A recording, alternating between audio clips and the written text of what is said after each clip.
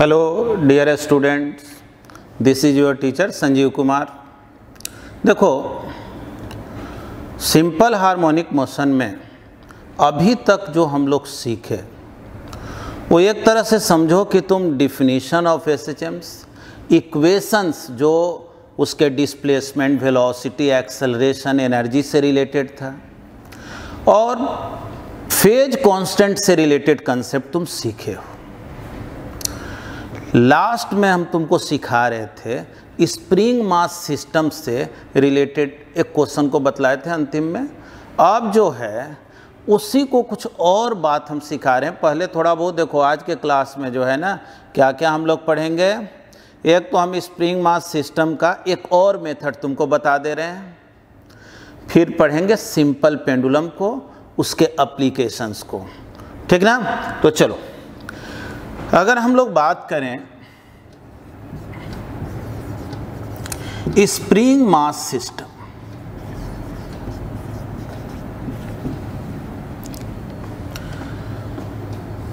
जो एग्ज़ाम्पल हम लोग पिछले क्लास में लिए थे।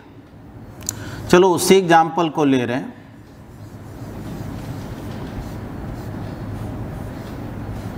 सपोज़ करो एक स्प्रिंग है जो हॉरिजेंटली प्लेस्ड किया गया, स्मूथ सरफेस पे। ठीक ना, ये स्मूथ सरफेस अभी ये स्प्रिंग अपने नेचुरल लेंथ में है, ओरिजिनल लेंथ में। इसी पोजीशन में ब्लॉक भी जो है, एम मास का ब्लॉक है और ये रुका हुआ है। सपोज़ करो स्प्रिंग कांस्टेंट जो है के ये जो है फिक्स्ड वॉल है, एक एंड इसका, इससे इस स्प्रिंग को अटैच कर दिया गया। तो ज़ाहिर है अगर ब्लॉक को यहाँ रख करके छोड़ दोगे तो ब्लॉक रुका हुआ रहेगा। तो इस पोजीशन को क्या बोलते हैं? तो मीन पोजीशन बोलते हैं या इक्विलिब्रियम पोजीशन बोलते हैं? अब अगर इस ब्लॉक को तुम कुछ वेलोसिटी से प्रोजेक्ट कर दिए तो जैसा कि तुम ऑलरेडी जानते हो, इसका मोशन एस होगा। अब जनरली तुमसे कहा जाता है प्रूफ करो इसका मोशन एस एच एम होगा। और टाइम पीरियड ऑफ़ ऑसिलेशन बतलाओ। ऑलरेडी एक मेथड तुमको हम सिखाए हुए हैं। इस क्वेश्चन को पिछले वीडियो में तुम देख लेना।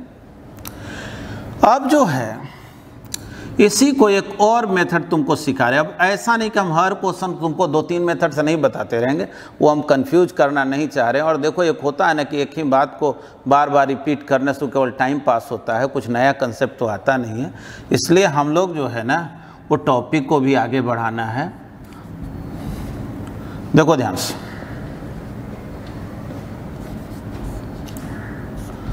मान लो, ये ब्लॉक इस पोजीशन में था।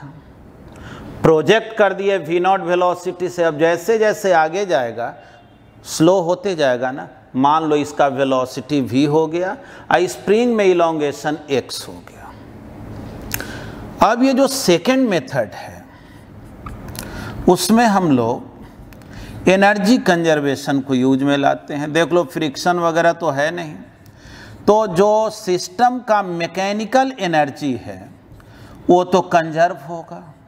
तो from energy conservation E initial is equal to E final तो इनिशियल एनर्जी देखो स्टार्ट में ब्लॉक यहाँ है। अगर तुम रिफरेंस लेवल ले लो इसको तो स्टार्ट में ब्लॉक जो है इस पोजीशन में है तो काइनेटिक एनर्जी जो है कितना हो गया? Half M V naught square देखो, ये हो गया काइनेटिक एनर्जी स्प्रिंग में कोई लॉन्गेशन है नहीं तो स्प्रिंग में तो कोई पोटेंशियल एनर्जी स्टोर्ड नहीं होगा। फाइनल एनर्जी जब लिखोगे तो ब्लॉक यहाँ पर तो ब्लॉक का kinetic energy half M V square और spring energy half K X square ठीक ना? स्प्रिंग में इलोंगेशन एक्स हो गया। हाँ जहाँ तक पोटेंशियल एनर्जी का सवाल है ग्रेविटेशनल पोटेंशियल एनर्जी एम का। तो बोलेंगे कि भाई देखो रिफरेंस लेवल पे तो ये पहले भी था और रिफरेंस लेवल पे ही बाद में भी है। वो हाइट वगैरह तो गेन किया नहीं तो एमडीएच लिखने की कोई ज़रूरत है नहीं। तो अब जो है, इसको डिफ्रेंशिएट करो विथ रिस्पेक्ट टू टाइम है ना? Differentiate with respect to time देखो, ये बिल्कुल अलग मेथड है। अक्सर ये मेथड हम लोग फॉलो नहीं करते हैं, लेकिन देखो, होता क्या है ना कि कुछ कुछ बात है कि जो नया बात एक सीख लिए तो कहीं बेहतर ही ना है। चलो, एक से ज़्यादा मेथड तुम जानते हो, मेथड और भी है, वो भी हम सिखाएँगे आगे के एग्ज़ाम्पल में। लेकिन एक नया मेथड सीखो। Differentiate with respect to time. देखो, जैसे जैसे ब्लॉक आगे जाएगा, उसका काइनेटिक एनर्जी जो है वो तो चेंज होगा। नहीं स्लो होते जाएगा ना। एक्स भी बढ़ेगा तो पोटेंशियल एनर्जी भी बदल बदलेगा। लेकिन इन दोनों का जो सम होगा, यानी ये जो टोटल एनर्जी है, इसमें कोई चेंजिंग होने वाला नहीं है। इसका मतलब ये जो टर्म है ना, वो कांस्टेंट है। और कांस्टेंट का डिफ्रेंसिएशन क्या होता है? ज़ीरो अब देखो हाफ़ एम भी स्क्वायर तो भी स्क्वायर को डिफ्रेंशिएट करोगे तो टू भी डी भी बाई डी टी है ना? Two V D V by D T plus half K X square तो एक्स स्क्वायर का two X D X by D T बोलो, कोई दिक्कत है क्या? ठीक ना? एक्स स्क्वायर का डिफ्रेंसिएशन अगर एक्स के रिस्पेक्ट में करते तो टू एक्स होता। लेकिन टाइम के रिस्पेक्ट में करना है तो क्या लिखना पड़ेगा? Two X D X by D वैसे ही भी स्क्वायर का डिफ्रेंसिएशन भी के रिस्पेक्ट में करते तो केवल टू भी लिखते, लेकिन टाइम के रिस्पेक्ट में करना है तो two V D V by D T लिखना होगा। देखो तो two two cancel M V D V by D T को एक्सलरेशन बोलते हो। Two two cancel K X देखो, फिर से बतला दे रहे हैं। सिंपल हार्मोनिक मोशन में हम लोग एक्सलेशन को एफ़ से डिनोट कर देते हैं, क्योंकि अक्सर एम्पलीट्यूड को ए से डिनोट करना होता है उस कन्फ्यूज़न से बचने के लिए। और D X by D T मतलब वेलोसिटी ना हुआ। तो देखो जी के एक्स इंटू वी देखो तो v और v कॉमन होकर गायब हो गया। Zero is equal to M F plus K X तो बतलाव एक्सलरेशन कितना हो गया? तो माइनस के बाई एम इंटू एक्स बोलो, इधर लाएँगे तो होगा ना? चलो, एक स्टेप लिख ही दे रहे हैं। M F is equal to minus K X यानी एक्सलरेशन कितना? Minus K by M into X देखो तो तुम जानते हो ना कि जब भी एक्सलरेशन आ जाए minus some constant into displacement तो इसका मतलब क्या होता है कि मोशन एस एच एम होगा। यानी इतना तो प्रूव हो गया कि बोलेंगे that is motion of block motion of block will be S H M और ये भी जानते हो ना कि सिंपल हार्मोनिक मोशन में जो कांस्टेंट टर्म है, वो ओमेगा स्क्वायर के इक्वल होता है। पढ़े हो ना, एक्सलेशन होता है, माइनस ओमेगा स्क्वायर एक्स। तो बोलो तो ये जो ओमेगा स्क्वायर है, ओमेगा स्क्वायर है, वो कितने के इक्वल हो गया? तो ओमेगा स्क्वायर इक्वल हो गया के बाई एम के। तो ओमेगा क्या हो गया? Under root K by M और जानते हो ना, ओमेगा होता है two pi by T under root K by M time period हो गया two pi under root, M, by K. देख लो, पिछले मेथड से भी बनाए थे, सेम यही ना रिज़ल्ट आया था। समझ गया? तो चलो दो मेथड बतला दिए। अब जो है ना, इसका जो है स्क्रीनशॉट ले। तो अब हम लोग आगे जो है, वो सिंपल पेंडुलम को पढ़ते हैं। देखो स्प्रिंग से रिलेटेड जो है ना, अभी हम लोग बहुत सारा कंसेप्ट सीखेंगे। वर्टिकल ओसिलेशन हो, एक से ज़्यादा स्प्रिंग हो स्प्रिंग सीरीज़ में हो पैरेलल हो मिक्स्ड हो, बहुत तरह का केसेज अभी सीखना है। बस केवल तुमको एक बेसिक बात सिखाई स्प्रिंग में कि जब भी स्प्रिंग ओसिलेट करता है, चाहे ओरिजेंटली ओसिलेट करे वर्टिकली ओसिलेट करे, उसका एंगुलर फ्रीक्वेंसी होता है under root K by M या टाइम पीरियड होता है two by under root M by K अब सिंपल पेंडुलम क्या देखो सिंपल पेंडुलम जो है, समझ लो इसका डिफिनेशन है it consist of a small ball which is suspended suspended with the help of a light string. ठीक ना, एक लाइट स्ट्रिंग से इसको हम लोग सस्पेंड करते समझ जैसे हम लोग एक धागा को लिए स्ट्रिंग को लिए, और एक बॉल को सस्पेंड ये बॉल जो है ना स्ट्रिंग का जो लेंथ होता है, उसके कंपेरिजन में बॉल का जो रेडियस है, वो जनरली बहुत छोटा होता है। इसीलिए स्मॉल वर्ड यूज़ किया गया है। अगर मान लो बॉल का रेडियस जो है स्मॉल आ रहा है तो ये समझो कि L very very greater than R है।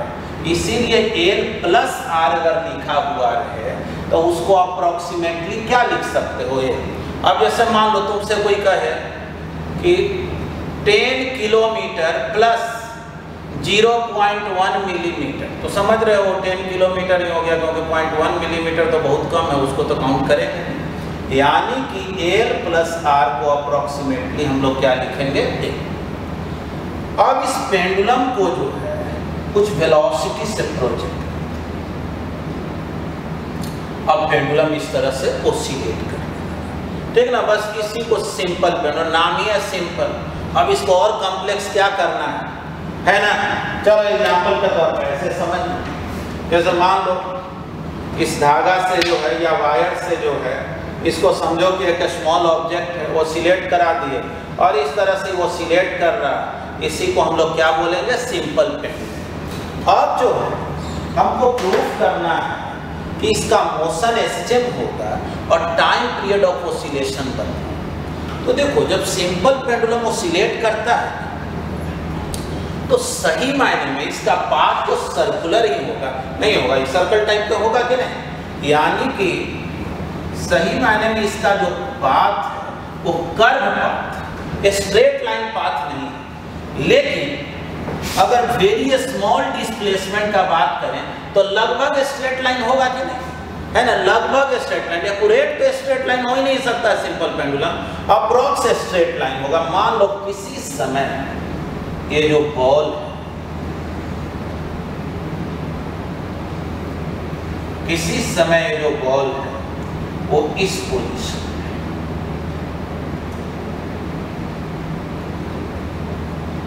ठीक ना? बॉल किस पोजीशन में है?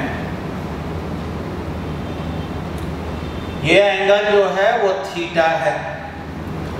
देखो, जब हम लोगों को वेरी स्मॉल डिस्प्लेसमेंट का बात करना है तो थीटा भी वेरी स्मॉल होना चाहिए ना। याद रखना है एसएचएम एक तरह से स्मॉल ओसिलेशन को कहा जाता है। मतलब बहुत लार्ज एम्पलीट्यूड नहीं स्मॉल एम्पलीट्यूड के ओसिलेशन का बात हम लोग करते हैं एसएचएम तो देखो तो बॉल जब यहाँ पे पहुँचे, नीचे क्या हो गया? एम इधर हो गया टेंशन। है ना? अब थोड़ा सोचो तो इसको वापस लाने वाला कौन फोर्स तुम इस बॉल को प्रोजेक्ट कर दिए, इधर बॉल जा रहा है वापस कौन फोर्स आखिर इसको लाएगा? तो थोड़ा देखना इसको ध्यान से। इसको अगर आगे बढ़ा दे। ये एंगल थीटा तो बोलो ये भी थीटा होगा। एम को अगर कंपोनेंट में ब्रेक करें तो इधर क्या लिखोगे? एम जी कॉस थीटा इधर क्या लिखोगे? तो एम जी साइन थीटा है ना? बोलो तो। एम जी साइन थीटा वो क्या चीज़ का काम कर रहा है? तो एम जी साइन थीटा काम कर रहा है रिस्टोरिंग फोर्स का। फिर देखो एक बार फिर बता देखो एम जी इधर है, ये थीटा है तो ये भी थीटा है। तो इधर एम जी कॉस थीटा इधर। यही एम जी साइन थीटा जो है, इस बॉल को वापस लाने में हेल्प करेगा क्या? यानी तुमसे कोई पूछे कि रिस्टोरिंग फोर्स क्या होगा? रिस्टोरिंग फोर्स क्या होगा? तो आगे माइनस पहले लगा देना। इसलिए क्योंकि देखो ऑब्जेक्ट आगे जा रहा है फोर्स विरोध कर रहा है ना? यानी ये डिस्प्लेसमेंट के अपोजिट है। और ये कितने के इक्वल है एम डी साइन थीटा देखो, एक बात और जान। जब थीटा वेरी स्मॉल तो साइन थीटा को अप्रोक्सीमेटली हम लोग थीटा या टेन थीटा को भी अप्रोक्सीमेटली थीटा लिखते। कैसे? साइन ज़ीरो तो ज़ीरो लिखते हैं। तो थीटा अगर निगलिजिबल हो, बहुत कम तो वो जितना होता है उसी के अप्रोक्सीमेटली इक्वल यानी कि थीटा अगर बहुत कम हो तो अप्रोक्सीमेटली किसके इक्वल थीटा के। ये याद रखना साइन के साथ टेन के साथ यूज़ कर सकते यहाँ लिख दे रहे हैं थीटा इज़ वेरी स्मॉल इसीलिए याद रखना, ये स्मॉल ओसिलेशन के लिए ही एस एच एम कंसिडर किया जाएगा। आगे तुम समझोगे? क्योंकि अगर ऐसा नहीं कंसीडर करेंगे तो प्रूफ नहीं होगा कि इसका मोशन एम होगा देखो थीटा का वैल्यू क्या है? तो देखो, ये एल है। ज़ाहिर है वही स्ट्रिंग है तो ये भी एल है। और मान लो इसका डिस्प्लेसमेंट एक्स है ना? किसी समय एक्स डिस्प्लेसमेंट तो सोचो सर्कुलर मोशन में तुम पढ़ता था, अगर ये आर है, ये आर है, ये थीटा है तो बतलाओ तो थीटा एक्स वाई आर बोलता था क्या? तो यहाँ बोलेंगे थीटा कितना हो गया? एक्स बाई एल यानी कि जहाँ पे साइन थीटा है, उसको अप्रोक्सीमेटली थीटा लिखेंगे। अब फिर थीटा के जगह क्या पुट कर देंगे? एक्स बाई एल तो चलो इसको आगे बढ़ाते रिस्टोरिंग फोर्स कितने के equal mass into acceleration minus M G sine theta को अप्रोक्सीमेटली क्या लिखे? Theta M M cancel acceleration is minus G बोलो थीटा को क्या लिख दें? तो एक्स बाई देखो तो ये क्या आ गया? ये तुम्हारा आ गया acceleration is equal to minus G by A into X क्या कह रहा है? देखो तो ध्यान से। ये कह रहा है acceleration is equal to minus some constant into X acceleration is equal to minus some constant into X है ना? यानी एक्सेलरेशन हो गया directly proportional to minus X इससे प्रूफ हो गया ना कि that is motion of simple pendulum simple pendulum will be S H M है ना?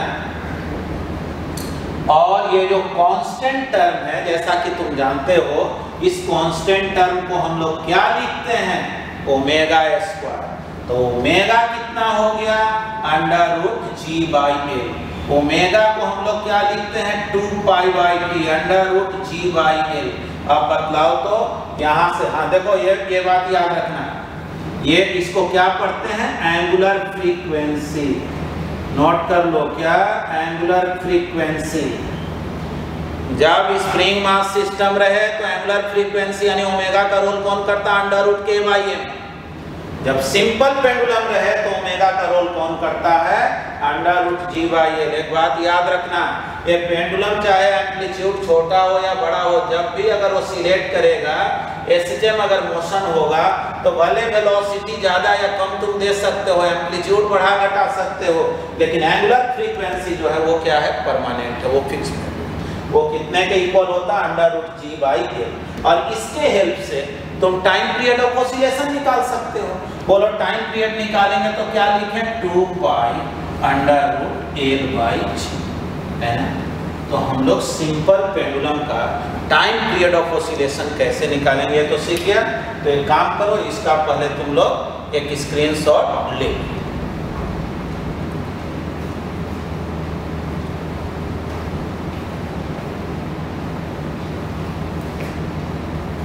अब देखो। अब हम लोग कुछ वर्क करते हैं। जो सिंपल हाथ सिंपल पेंडुलम जो पढ़ है, इसके एप्लीकेशन पर टेस्ट यानी कि इससे रिलेटेड जो है, किस तरह से क्वेश्चन पूछा जा सकता है। कुछ एग्ज़ाम्पल को देखते हैं। देखो, एक बात तो तुम जानते ही हो कि कोई भी कंसेप्ट को तुम अगर सीखो और जब तक उसको एप्लीकेशन में, यानी यूज़ में नहीं लाओ तो याद रखना वो कंसेप्ट जो है, वो कभी भी बहुत बेहतर नहीं हो सकता ठीक ना? इसलिए हम लोग कुछ एग्ज़ाम्पल देते हैं। देखो, सबसे पहले तो जैसे तुमसे क्वेश्चन ऐसे कह देगा, एक लिफ्ट है, उसमें पेंडुलम सस्पेंड कराया गया है लिफ्ट एक्सलेशन से ऊपर जा रहा है, नीचे जा रहा है, या कांस्टेंट वेलोसिटी से जा रहा है या कार में पेंडुलम लटकाया हुआ है कार ये एक्सलेशन से ओरिजेंटली मूव करने लगा। टाइम पीरियड ऑफ़ ओसिलेशन कैसे निकालेंगे, बहुत तरह का क्वेश्चन तुमसे पूछा जाता है। तो चलो क्वेश्चन है find time period of oscillation oscillation of given simple pendulum simple pendulum. In given cases, चलो अलग अलग केस ले रहे सपोज़ करो,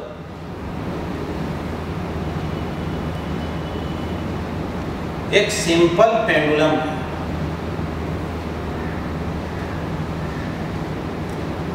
सिंपल पेंडुलम एक लिफ्ट में इसको सस्पेंड करा अब तुमसे कहा गया कि अगर वो सिलेक्ट करा के छोड़ दें कि स्ट्रिंग का लेंथ एल है और ए स्मॉल बॉल इसमें लटकाया हुआ है बतलाओ टाइम पीरियड ऑफ़ ऑसिलेशन क्या? एक चीज़ तो समझ गया ना टाइम पीरियड को मतलब है two pi under root L by G यानी एल और जी से मतलब। ये तो जानते हो मास वगैरह पे सिंपल पेंडुलम का टाइम पीरियड डिपेंड नहीं करा अगर तुमसे कोई क्वेश्चन पूछे ना पेंडुलम का मास डबल कर दिया मतलब टाइम पीरियड ऑफ़ ऑसिलेशन क्या हुआ? तो बोलेंगे टाइम टाइम को मास से इसका कोई लेना देना नहीं। कोई कहे ना हम ज़्यादा वेलोसिटी से प्रोजेक्ट कर दिए।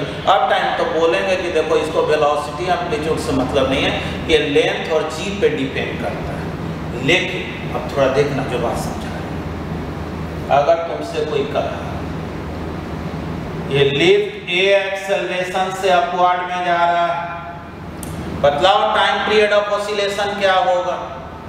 तो बोलो, इस पेंडुलम पे कौन कौन फोर्स लग रहा है? ऊपर और नीचे लग रहा है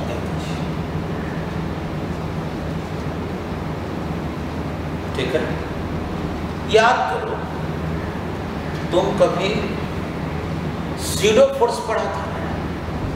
तुम ऐसा सोचो, तुम इस लिफ्ट में ही बैठे हो। चलो कहीं बैठ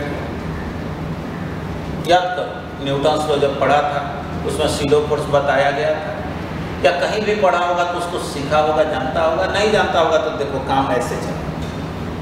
समझो तुम कहाँ बैठे हुए हो इस लिफ्ट में। तो जिसमें तुम बैठ जाते हो, तुमको रुका हुआ नज़र आता है। यानी तुमको लगेगा ये लिफ्ट रुका हुआ। लेकिन लिफ्ट में बैठा हुआ आदमी एक नया फोर्स जो है दिखता है, जिसको बोलते हैं सीडो फोर्स और वो फोर्स किधर डायरेक्टेड होता है तो जिस फ्रेम में वो आदमी बैठा हुआ हो, जिस लिफ्ट में आदमी बैठा हुआ हो, उस लिफ्ट का एक्सलरेशन जिधर है सीडो फोर्स उसके अपोजिट यानी ये एक्सलरेशन से लिफ्ट जा रहा है तो सीडो फोर्स जो अपोजिट में होगा, और वो कितने के इक्वल होता है? तो m इंटू एम ऑब्जेक्ट का मास और ये होता है उस लिफ्ट का, उस फ्रेम का एक्सलेशन यहाँ लिफ्ट है तो लिफ्ट का एक्सेलरेशन ठीक है? तो देखो, इस पेंडुलम पर कौन कौन फोर्स लग रहा है? ऊपर टी नीचे एम जी नीचे एम ए और इसी पोजीशन में पेंडुलम रुका हुआ है। ठीक ना? अभी ओसिलेट नहीं कराना है। देखो, बहुत सिंपल मेथड सिखा रहे हैं, एक ट्रिक सिखा रहे हैं जिससे सिंपल पेंडुलम के प्रत्येक क्वेश्चन को तुम बना सकते तो सबसे पहले काम क्या करो? इस टेंशन को निकालो। टी क्या? Tension in string at equilibrium position equilibrium position. When? When pendulum does not oscillate है ना पेंडुलम डज नॉट ऑसिलेट ठीक है ना पेंडुलम जब ऑसिलेट नहीं करता है, तब जो है स्ट्रिंग में टेंशन इक्विलिब्रियम पोजीशन पे बतलाओ तो टेंशन कितने के इक्वल होगा? तो ज़ाहिर है, इस लिफ्ट में बैठा हुआ आदमी क्या कह रहा है कि भाई देखो लिफ्ट तो रुका हुआ है, इसको तो रुकाऊँगा लिफ्ट, क्योंकि देखो जिस फ्रेम में तुम बैठ जाते हो, जैसे तुम अर्थ पे बैठे हुए तो अर्थ तुमको रुकी हुई नज़र आती है कि नहीं? तो वैसे ही ये लिफ्ट भी इसको रुका हुआ नज़र आएगा तो अभी आप ही बोलेगा लिफ्ट तो भाई रुका हुआ है, मेरा पेंडुलम भी रुका हुआ है, और रुका हुआ है इसका मतलब जितना अपवर्ड फोर्स उतना डाउनवर्ड फोर्स यानी बोलेंगे टेंशन किसके इक्वल तो एम जी प्लस चलो टेंशन निकल गया ना। अब तुम्हारा एकदम काम हो गया, समझो सब टेंशन निकल गया। अब जो है, एक वर्ड होता है जी इक्विवेलेंट मतलब कि जहाँ पे तुम जी लिखते थे 9.8 मीटर पर सेकंड स्क्वायर या 10 मीटर पर सेकंड स्क्वायर वहाँ तुम क्या लिखोगे? तो लिखोगे टी बाई देखो ध्यान क्या लिखोगे? टी बाई एम टेंशन में एम से डिवाइड कर देना टी क्या है? फिर से समझो टी है टेंशन इन स्ट्रिंग व्हेन ठीक ना? Tension in string at equilibrium position when pendulum does not oscillate pendulum जब ऑसिलेट नहीं कर रहा हो और उसके मीन पोजीशन पे जब वो रुका हुआ हो तो उसका टेंशन क्या? चलो टी कितना है ये? तो M G plus M A divided by M बोलो, कितना हो गया? जी प्लस जी की वैलेंट निकल गया। अब तुमसे पूछा गया कि बतलाओ टाइम पीरियड क्या लिखें तो इसमें नया कुछ नहीं करना है। टाइम पीरियड ऑफ़ ऑसिलेशन क्या होगा? टाइम पीरियड ऑफ़ ऑसिलेशन तो बोलेंगे टाइम पीरियड हो गया two pi under root L by G equivalent मतलब जी के जगह जो है ना वैल्यू चेंज हो जाएगा। जैसे ही लिफ्ट में मूवमेंट होगा तो जी का वैल्यू जो है, अगर यही लिफ्ट रुका हुआ रहता ना तो क्या लिखते कि जी जो केवल एम ही ना लगता टी किसके इक्वल होता? है एम के तब सीडो फोर्स का बात नहीं होता। और तब तुम एम जी बाई एम करता तो जी ना आ जाता ए नहीं ना आता। तब तो two pi under root L by G होता है, लेकिन लिफ्ट में जब एक्सेलरेशन आ गया तो जी का वैल्यू बदल गया। मतलब जी की वैलेंट के जगह तुमको क्या लिखना पड़ेगा? जी प्लस यानी two under root L by G plus समझ गया? चलो, ये तो हम लोग टाइम पीरियड निकालना सीख गए। इस केस अब थोड़ा सोचो। अगर ऐसा हो कि ये जो लिफ्ट है, डाउनवर्ड में जा रहा होता है ये एक्सलेशन ये एक्सलेशन से नीचे जा रहा ऊपर टी, नीचे एम चलो अब फिर से तुम लिफ्ट में बैठे आपकी तुम लिफ्ट में बैठोगे? तो सीडो फोर्स किधर तो ज़ाहिर है सीडो फोर्स ऊपर क्योंकि लिफ्ट का जिधर एक्सलेशन होगा, जिस फ्रेम में तुम बैठे हो, उसका जिधर एक्सलेशन होगा सीडो फोर्स उसके अपोजिट में होता है तो ज़ाहिर है सीडो फोर्स ऊपर। अब इक्वेशन तुम लिखोगे। देखो तो क्या इक्वेशन लिखोगे? लिखोगे ना टी इजकल टू देखो T plus M A T plus M A is equal to M G बोलो टी कितना हो गया? M G minus M A T निकल गया ना? और जब टी निकल गया तो पूछा जाए तुमसे जी की वैलेंट क्या होगा? जी की वैलेंट शॉर्ट में लिख दिए हैं। तो अभी क्या सिखाया तुमको? बोलो जी की वैलेंट कैसे निकालते हो? टी बाई एम है ना? टी बाई एम तो टी कितना है? तो टी हो गया M G minus M A divided by बदलाव तो कितना हो गया? जी माइनस तो टाइम पीरियड क्या लिखोगे? Two pi under root L by बतला दो यहाँ जी की वैलेंट ना लिखते हैं, वहाँ क्या लिखे? जी माइनस ए ये टाइम पीरियड जो है, थोड़ा सोचो तो। लिफ्ट ए एक्सेलरेशन से ऊपर जा रहा। बतलाओ टाइम पीरियड बढ़ गया कि घट गया? जब लिफ्ट रुका हुआ रहता है, तब तो टाइम पीरियड होता है two pi under root L by G अब यहाँ जी प्लस ए हो गया ना तो बतलाओ तो जी प्लस ए होने से टाइम पीरियड बढ़ा कि घटा? तो ज़ाहिर है टाइम पीरियड तो घट गया, क्योंकि डिनोमिनेटर में टर्म बढ़ेगा तो तो टाइम पीरियड घटेगा टाइम पीरियड घट गया। इसमें देखो, जहाँ जी लिखते थे वहाँ क्या लिखा हुआ जी माइनस से तो ये टर्म जब घट गया जी से कम हो गया तो टाइम पीरियड बढ़ गया ना। अब देखो तुमसे ऑब्जेक्टिव क्वेश्चन ऐसे पूछ दिया जाता है। कहेगा तुमसे एक पेंडुलम क्लॉक है। है ना पेंडुलम क्लॉक है।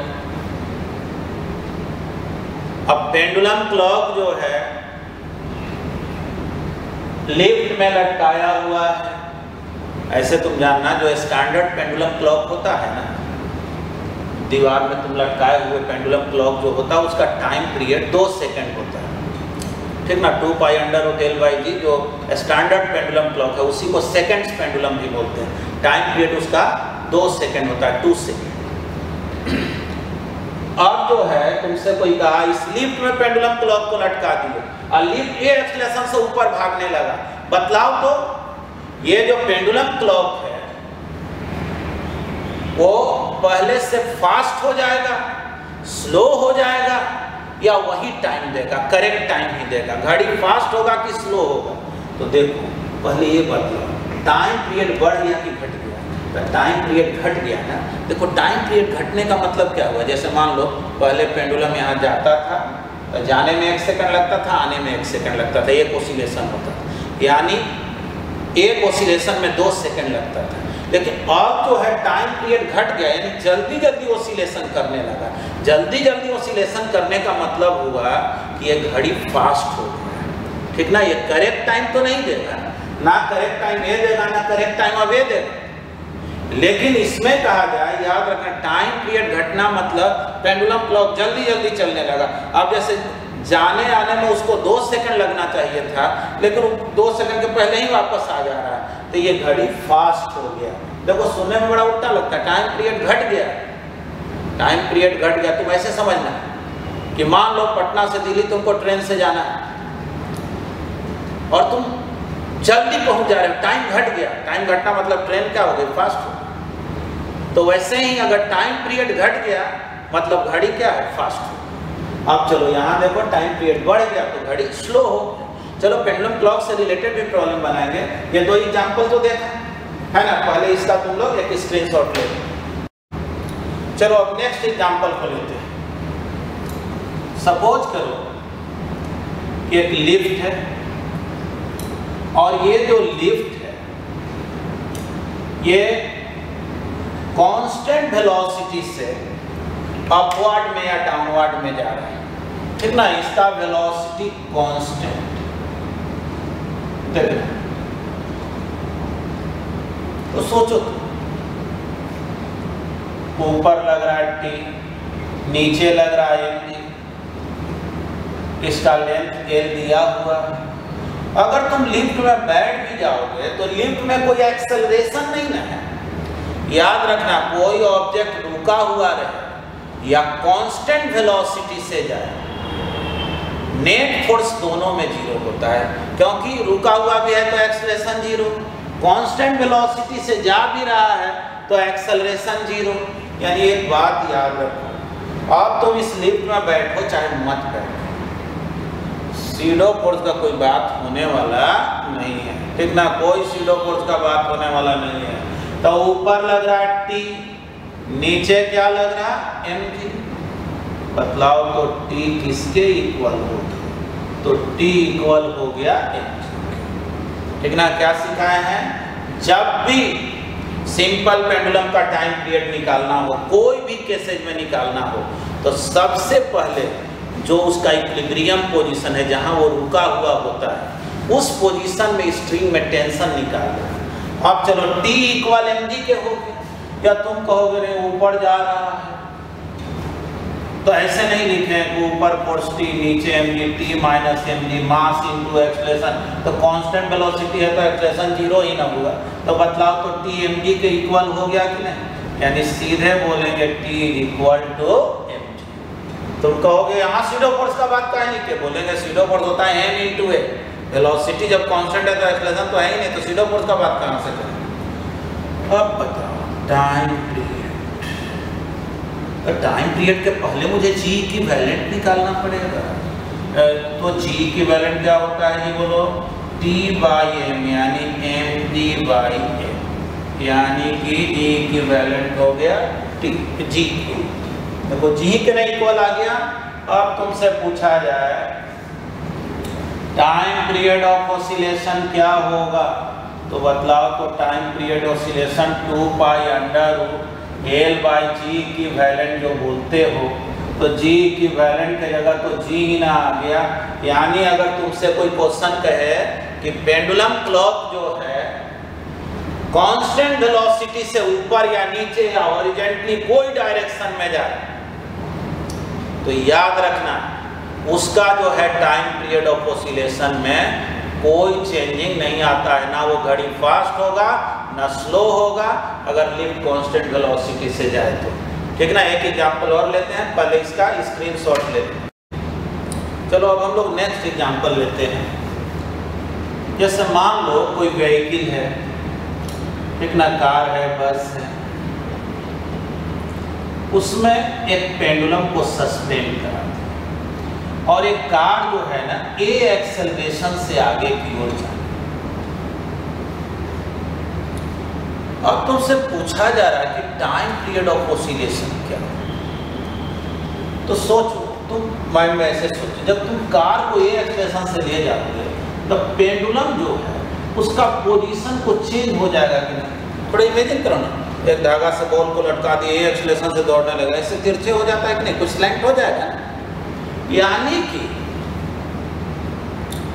ये पेंडुलम कुछ इस तरह के पोजीशन में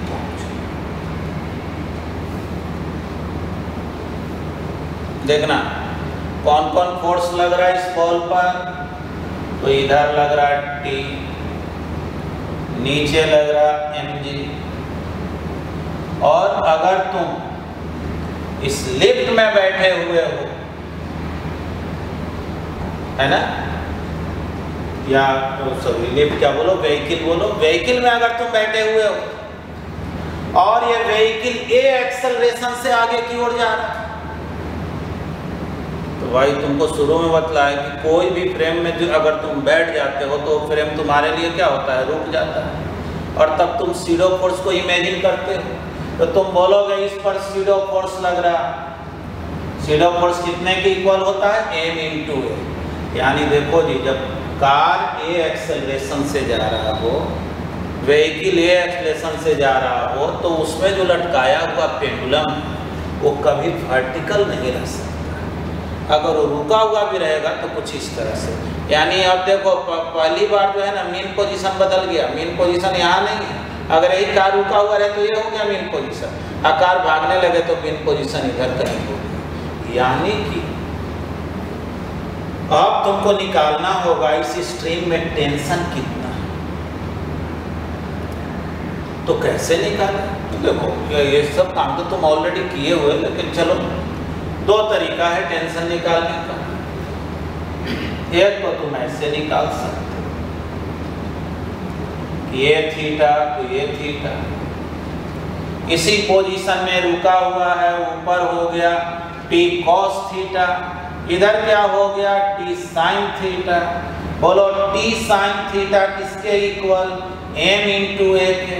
टी कॉस थीटा किसके इक्वल एम इंटू जी के। है ना? दो इक्वेशन आ गया। ज़रूरत क्या चीज़ का? है तो ज़रूरत है टेंशन का। अगर ज़रूरत थीटा का होता तो दोनों को डिवाइड कर देते तो T T cancel tan theta निकल जाता, लेकिन हमको उसका ज़रूरत यहाँ पे नहीं। तो कैसे निकाले टेंशन को? तो equation first square plus second square तो T square sine square theta plus cos square theta m a plus m g है ना? Sine square theta plus cos square theta one m को बाहर निकाल देखो अंडर होता है चलो, एक अगले स्टेप में उसको कर देंगे। M a square plus m g जल्दी बोलो। टेंशन किसके equal m under root a square plus g अब तुमसे कहा जाए कि g की वैलेंट क्या होगा? तो बोलेंगे t बाई ए अभी सिखाए ना? कि जब भी सिंपल पेंडुलम का टाइम पीरियड निकालना हो, कोई भी केसेज में तो सबसे पहले क्या करना? स्ट्रिंग में टेंशन निकालना, उसके मीन पोजीशन यानी जब वो सिलेक्ट ना करे और जिस पोजीशन में रुका हुआ रहे, उस पोजीशन। देखो m a square plus g square divided by बतलाओ कितने के इक्वल आ गया? यानी जो जी की वैलेंट है, वो इतना हो अब तुमसे कोई पूछे कि बतलाओ टाइम पीरियड क्या होगा? तो टाइम पीरियड का फॉर्मूला तुम जानते हो ना? Two pi under root L by g equivalent तो टाइम पीरियड कितना आ गया जी? तो बोलेंगे two pi under root L by under root g square plus a square ठीक ना a square plus g square बोलो, चाहे g square plus a square एक ही बात है। निकल गया? तो इस केस में भी देख लो अगर तुमसे कोई कहेगा कि अगर ये पेंडुलम क्लॉक है तो स्लो हो जाएगा कि फास्ट हो जाएगा? तो देख लो नॉर्मल वे में टाइम पीरियड तो two pi under root L by g होता है, लेकिन ये वाला टर्म जी से बड़ा ना हो गया। यानी टाइम पीरियड घट जाएगा, यानी कि घड़ी जो होगा पेंडुलम क्लॉक जो होगा, वो फास्ट हो जाएगा। ठीक है? तो इसका भी जो है, एक स्क्रीन शॉट ले लो। चलो, एक एग्ज़ाम्पल हम लोग लेते हैं, थोड़ा तुम लोग भी सोचना हेल्प करना। एक क्वेश्चन पूछ रहे हैं। देखो, अब ये स्मॉल साइज़ का बॉल नहीं दिए हैं, ये गिवन साइज़ का बॉल है।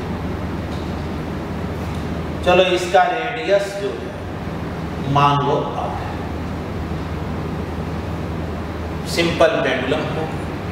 आर दिया हुआ है क्वेश्चन में। देखो आर जब दिया हुआ रहे ना तो जो लिखते हो ना time period two pi under root L by g तो एल न लिख के क्या लिखना पड़ेगा? एल प्लस हमेशा जो है लेंथ का मतलब होता है पॉइंट ऑफ़ सस्पेंशन से सेंटर ऑफ़ ग्रेविटी का डिस्टेंस जहाँ से लटकाए हो, उसे सेंटर का डिस्टेंस ठीक है? थोड़ा समझना बढ़िया तो टाइम पीरियड जो है नॉर्मल केसेज में two pi L diva L plus r divided by g ठीक है अब तुमसे कहा क्या है कि इस हॉलो स्फेयर में, इस बॉल में पानी को भर दे चलो वाटर फिल कर दिया गया है इसके अंदर। कितना? वाटर फिल कर अब जो है, तुम इसको कुछ वेलोसिटी देके वो सिलेक्ट करा।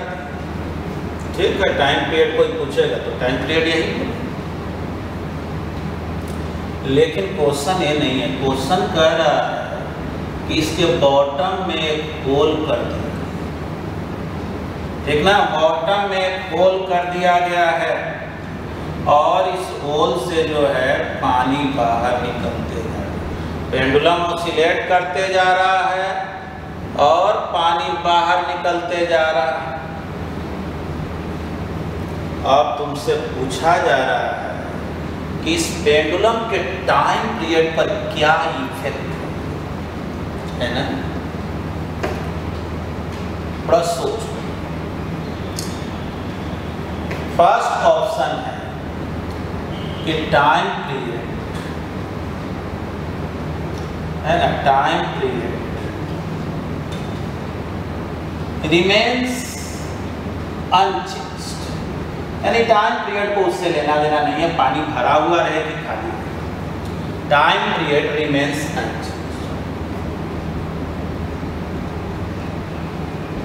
अगला option time period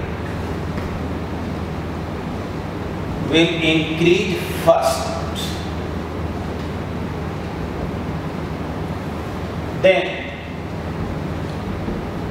twenty page है ना? थर्ड ऑप्शन है। Time period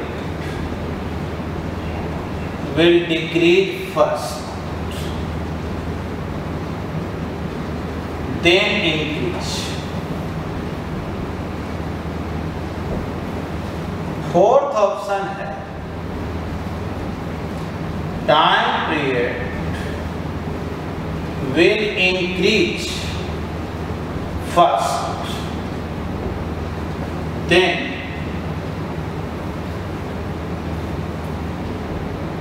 it will decrease. It will decrease. And finally becomes equal to equal to initial value. ठीक है। देखो ये चार ऑप्शन थोड़ा सोचो। पेंडुलम ओसिलेट करना। टाइम पीरियड क्या होगा? तो देखो, तुम बोलोगे ना टाइम पीरियड का फॉर्मूला होता है two pi L plus r by यही होता है तो फिक्स्ड है। कोई ऐसा नहीं लिफ्ट में तो लटकाया हुआ है नहीं। नीचे में तो जी ही लिखे। अब थोड़ा सोचो तो। जब पानी नीचे गिरने लगे, कुछ टाइम के बाद जो अगर इसका तुम फिगर देखो, चलो यहाँ पे बना दे रहे हैं डायग्राम कुछ टाइम के बाद अगर तुम देखो तो मान लो इसका हाफ़ पानी जो है बाहर नीचे में पानी है। हाफ़ पार्ट में पानी है, हाफ़ पार्ट खाली हो गया थोड़ा सोचो तो। अभी इसका जो सेंटर है, वो यहाँ पर है। सेंटर ऑफ़ मास जो है, यहाँ पे है। पूरी तरह से पानी भरा हुआ है सेंटर ऑफ़ मास यहाँ पे। लेकिन क्या इस केस में भी सेंटर ऑफ़ मास यही होगा? बोलो। तो ज़ाहिर है, ऊपर वाला पोर्शन जो है, कम मास का हो गया, नीचे वाला ज़्यादा मास का हो गया तो अब तो बीच में सेंटर ऑफ़ मास ना होकर के जिधर ज़्यादा मास रहता उधर शिफ्ट कर जाएगा। यानी कि अब जो है एल प्लस यहाँ से यहाँ तक का जो डिस्टेंस है, वो देखना पड़ेगा कि इसका वैल्यू क्या होगा, यानी time period two pi under root L plus r by g ना बोल करके क्या बोलना पड़ेगा? Two pi under root L plus x by g. तो बोलो तो एक्स तो बड़ा हो गया ना आर से, यानी टाइम पीरियड पर क्या इफ़ेक्ट हुआ? टाइम पीरियड बढ़ गया। जितना ही ये वाला पोर्शन ज़्यादा होगा, बोलो टाइम पीरियड उतना ही ज़्यादा होगा कि नहीं? तो टाइम पीरियड तो बढ़ गया। तो फ़र्स्ट ऑप्शन तो बिल्कुल गलत हो गया कि वो हमेशा कांस्टेंट रहेगा इसलिए याद रखना, यहाँ जो टर्म लिखते हो, अक्सर एल जो लिखते हो एल मतलब होता है पॉइंट ऑफ़ सस्पेंशन से। जो सेंटर ऑफ़ मास है बॉल का सेंटर ऑफ़ ग्रेविटी है बॉल का, उसका distance generally centre of gravity इसके सेंटर पे ही होता है। या पूरी तरह से फुलफिल हो वाटर तो सेंटर पे ही होगा। लेकिन अगर कुछ पानी बाहर निकल तब जो है, ये तो नीचे आ गया। तो टाइम पीरियड जो है बढ़ गया कि नहीं? लेकिन अब देखो इससे मैं आगे एग्ज़ाम्पल देख। देखो, आगे जो है, थोड़ा इस तरह से इमेजिन करो, और पानी कुछ ज़्यादा बाहर निकल गया। अब बिल्कुल जो है ना, वो इस पोजीशन में पहुँच गया पानी। तो सोचो अब ये जो नीचे का पोर्शन है और इतना जो पोर्शन है तो ऊपर वाला का मास जो है, अब इतना इतना कम वाटर का मास इस पूरे स्पेयर के मास से तो ज़्यादा नहीं ना हो जाएगा। तो अब जो है धीरे धीरे जो है सेंटर ऑफ़ मास इधर आएगा। और जब पूरा पानी निकल जाएगा तो फिर से सेंटर ऑफ़ मास कहाँ आ जाएगा? तो वहीं पे आ जाएगा जहाँ पे इसका सेंटर है। थोड़ा समझना, पानी अगर होता ही नहीं पूरी मतलब एम्प्टी होता, खाली रहता अगर, तब तो सेंटर ही ना होता। तो बतलाओ तब तुम एल प्लस आर लिखता कि पूरी तरह से खाली होता तो क्या लिखता? एल प्लस आर अब सोचो, अगर मान लो तुमसे इसमें तो पानी भर दिया गया था और कह रहा पानी निकलते जा रहा। तो पानी निकलते जाएगा तो जब मान लो कि पानी हाफ़ हो गया तो सेंटर ऑफ़ ग्रेविटी कहीं इधर आ गया। लेकिन जब और पानी निकलेगा तो धीरे धीरे सेंटर ऑफ़ ग्रेविटी किधर जाएगा? तो सेंटर ऑफ़ ग्रेविटी ऊपर भागेगा और फाइनली कहाँ पहुँच जाएगा? यानी खाली स्पेयर रहे, चाहे पानी से भरा हुआ स्पेयर रहे सेंटर तो यही ना होगा। तो इस तरह से फाइनल जब टाइम पीरियड गए तब फाइनल टाइम पीरियड फिर से यही लिखना पड़ेगा कि नहीं? यानी तुमको क्या बोलना चाहिए सही आंसर बोलेंगे time period will increase first पहले टाइम पीरियड बढ़ेगा। फिर टाइम पीरियड घटेगा क्योंकि ये ये वाला जो इफ़ेक्टिव लेंथ है, जिसको हम लोग एल प्लस आर बोले फिर वो घटेगा।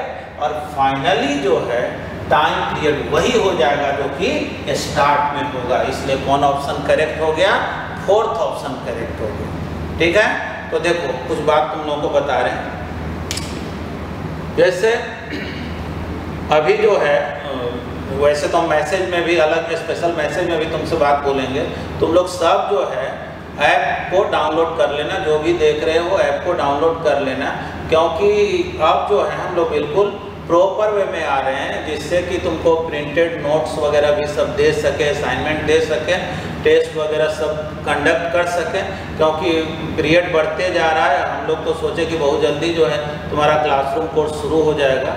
लेकिन ऐसा अभी फ़िलहाल दिख नहीं रहा है। तो हम लोग जो हैं तुम्हारे इस वीडियो लेक्चर पे भी, सब पे, अभी तुम दो टॉपिक पर देखो बहुत स्टूडेंट कंफ्यूज है ना, वो गलती से कुछ लिख भी दिया था कि एस एच एम ट्वेल्थ में, कुछ स्टूडेंट कंफ्यूज है कि एस एच एम कहीं ट्वेल्थ में तो नहीं एस एच एम एलेवेंथ का सिलेबस है।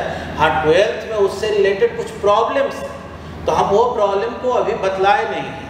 और तुम में से कुछ बच्चा जो एस सी वर्मा वगैरह फॉलो कर रहा होगा तो उसमें पहला ही chapter electric field and potential है। तो कुछ बच्चा सोच रहा है पोटेंशियल का तो आप बात ही नहीं किए। तो बिल्कुल नहीं, हम लोग जो सिलेबस फॉलो कर रहे हैं ना एन सिलेबस को फॉलो कर रहे हैं। पोटेंशियल पे भी आएँगे, लेकिन उसमें पोटेंशियल जो है, वो नेक्स्ट चैप्टर में दिया हुआ है। तो उस पर आएँगे, तब तक तुम क्या करो, अभी जो एस से रिलेटेड जो कंसेप्ट सिखाए हैं, जो होमवर्क दिए हुए हैं अगर तुम्हारे पास उपलब्ध है होमवर्क से कंटेंट तो ठीक है। नहीं तो मैं बोल देता हूँ, वो तुमको जो है उतना क्वेश्चन होमवर्क में दे दें कि तुम ट्राई कर सको। या हम एडिशनल होमवर्क नहीं दे रहे। अगले दिन जब पढ़ाएँगे ना तो तुमको होमवर्क देंगे। और आज हम लोग इतना ही सीखते हैं। ठीक है, धन्यवाद।